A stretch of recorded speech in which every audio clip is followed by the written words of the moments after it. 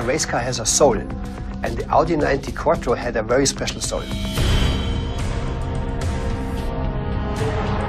It was the first time we came to Sears Point with the Audi 90, and when we came to the States with this car, nobody could believe what we can achieve with this car. Small engine, five cylinder. It's a, it's a German saloon car.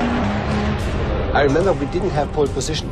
We knew that we can only win the race by using all the car has. Now the green flag is out. And here we go. The five-cylinder engine was a real, it was a jewel. It was lighter and it was more compact.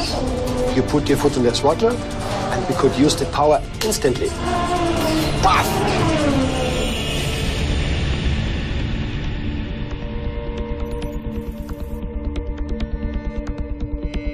In 1989, I was responsible for engine development. At that time, we have a five-cylinder engine in an IMSA GTO race car. The engine we have nowadays in the TTRS is the grandchild of this race engine from 1989. The base design is the same. The firing order is the same. Many people remember the sound of the five-cylinder in former times and they now hear it once again in the TTRs.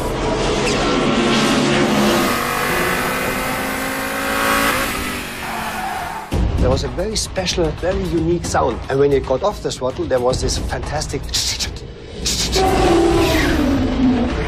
At that time, we saw that the five cylinder engine is a very good base for a race engine. 700 horsepower was no problem for this engine.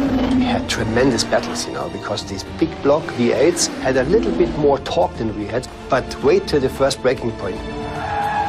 With a lighter engine, we had a big advantage. Our braking point was later than theirs, and to drive this car with especially the Quattro drive system was fantastic. They pass on the straight, we pass on the brake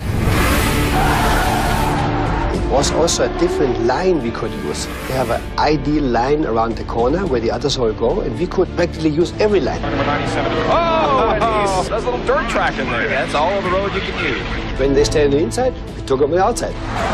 Also, all the other opponents got into tire problems because they had lots of more horsepower, big blocks, you know, and on the acceleration out of the corner, they just burned their tires, you know. And with our quattro drive system, we spread the load out on four wheels. Always look on the racetrack if there are things we can use for serious production car.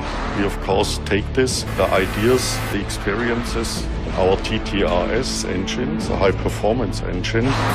Perhaps you can also feel a little bit that it comes out of a race engine. And the checkered flag is waving. And Hans Stuck wins. When I cross the finish line, I always start to yodel. Holaiti, Holaiti. And I start to jump up and down in the seat, you know. It's a feeling, oh, I'm missing a little bit.